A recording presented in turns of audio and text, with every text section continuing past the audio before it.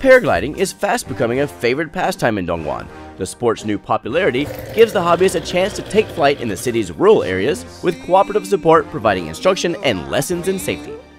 首先，我们要选择一个比较宽阔的地方，呃，就是没什么建筑物啊，没什么高山啊，这里，因为这样的话它不会很骚扰居民，而且它气流不会乱。